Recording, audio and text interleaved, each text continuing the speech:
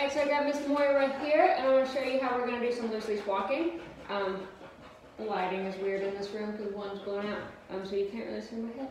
Um, so anyway, um, so what we're going to do is we're going to reward at our pants leg at about her head height. And we're going to start with one step at a time. And uh, we're going to add steps as we go. Good girl. And here we go. Yes.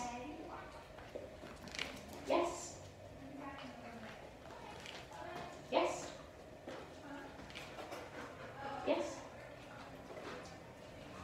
Yes. And you can practice this, yes, in your hallway, yes, or across your kitchen, across your living room, across your bedroom, whatever works best for you. Now we're going to do two steps.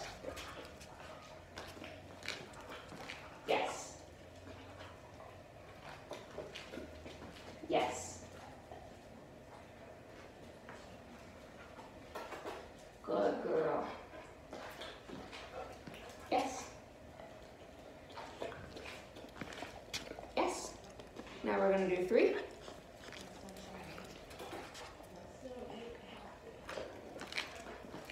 Yes, good girl.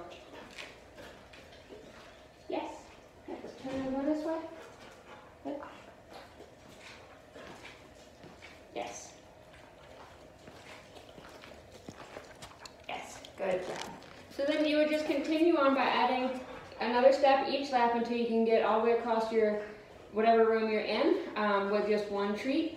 And um, and once you're once she looks really really good inside, we'll start taking it outside. We'll go in your backyard. Once it looks good in your backyard, we'll go to your front porch or your driveway. And then once it looks really good there, then we'll start taking it out on the road. Um, but she's off to a good start. So um, just let me know how many steps you're able to get, and uh, we will keep on working. She's a good girl, aren't you, Moira? Good job.